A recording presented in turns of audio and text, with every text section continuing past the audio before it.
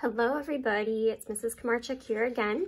We are going to be doing some bubble printing today. So this is one of my examples. I actually did two because I've been trying a bunch of different ways to do this so I can give you as many options as possible today. So for today, you're going to need some dish soap, water, a cup or a bowl, I prefer a disposable one so you don't have to reuse this because it does get a bit messy. Um, a straw, and then you have an option to use either paint. I use just this basic acrylic paint and it's been doing pretty well. Or you can even do food coloring and it should do really well for you. This one I actually did with food coloring and then this one I did with my acrylic paint. So I'm gonna show you a bunch of different techniques to do bubble printing, but what's really fun about it is that it is great for all ages. So anybody really can do this. You just might need a little assistance from somebody who's a little older to make sure that your mixture is right and we don't make any big spills today because that would be a big mess. Um, also, if you have cardstock, something a little thicker than just copy paper, that would be way better than your copy paper today because it absorbs the print better. So you'll see what I mean in a little bit. So printing is that process of where it works like a stamp and you can keep doing it over and over again. So we are kind of stamping the bubbles today. So you'll be seeing what that bubble will look like on a piece of paper, which is really cool. So I already have some mixtures made that I'm gonna be using. This one was my food coloring. This one was my acrylic paint. So you can see the similarities between the two. And I am going to be creating a new one with you. So I've been working on the perfect recipe all morning. And I'm not gonna lie to you, I kind of struggled finding that perfect recipe. So if you're not getting a really good print on the first go round, don't give up. Just keep on mixing a few different ways because there's just so many ways to do this. And I've truly been doing a lot of research on it and I can't figure out exactly what the perfect one is. I think it's a combination of using the right materials and just the right amount of each. So keep on exploring until you get the right one. So I like starting with my paint or food coloring first. So a good rule of thumb is just kind of fill the bottom. When I was doing, oops, when I was doing my research today, I found that it was about two tablespoons, but I just kind of like filling the bottom. This is a little old, that's why it's a little chunky. Come on, stay with me. There we go. Okay, that should be enough for now. And again, if it's not working, I'll just add more later. No big deal. Okay, then I am going to add in just a little bit of dish soap. About that much is perfect. I don't know, it's maybe like a teaspoon if you want to use some measurements here. Oops. Okay, I'm gonna swirl this mixture together.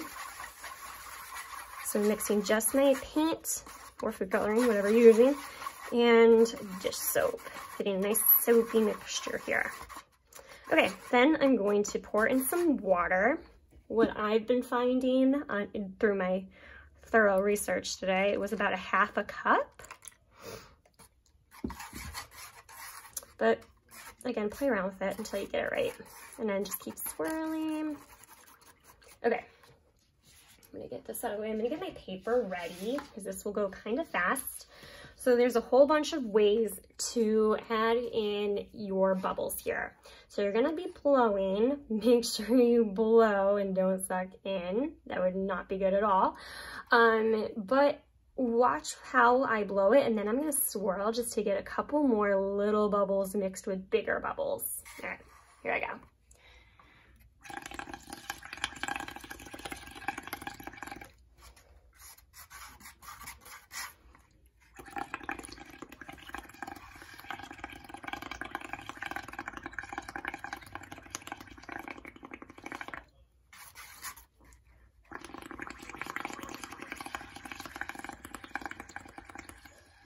All right, and as you can see, I got lots of different size bubbles and I have it going off of the edge here.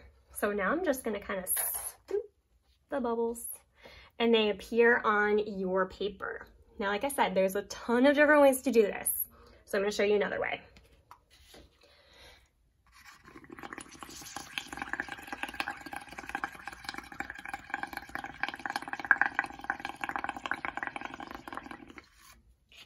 I flip my paper over and gently just press it down. Boom. Then you can get the middle part of your paper. I like keep on scooping my bubbles up and then I'll show you a way that you can actually spread your bubbles out a little bit. Let me mix this up a little more.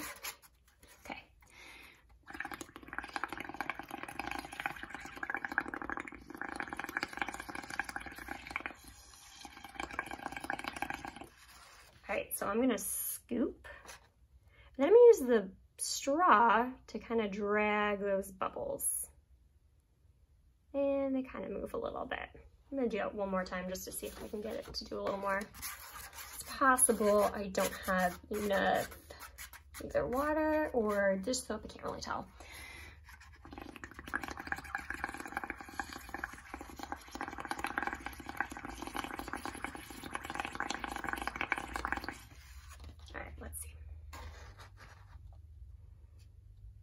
There you go. So I'm being really careful not to draw with my straw. Instead, I'm just dragging the bubble and kind of popping them as I go. If I just let them sit, then the bubbles will eventually pop. And that's what I prefer to do because then you get a really nice true bubble form on your paper rather than it kind of looking like it was just kind of splattered everywhere. So here's something else you could do. I can put, if you have a couple containers of this, if you had multiple colors, I can put two colors together and then just kind of um, do them both at the same time. I saw through all my research, I saw somebody did a muffin pan and they put a different color in each little section and then did the whole thing all at once, which looked amazing. I don't have a muffin pan that I'm gonna do that with, but if you wanted to, that's another option. All right, I'm gonna give these two colors a try at the same time. I'm gonna be flipping it over like I did before. Let's see what happens.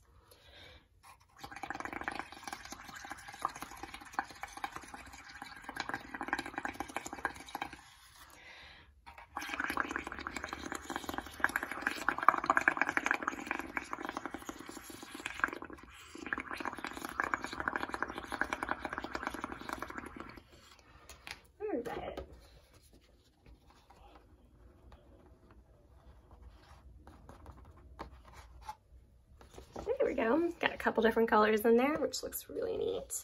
So there's just so many ways that you can fill your paper with these fun bubbles. So have fun experimenting with this today.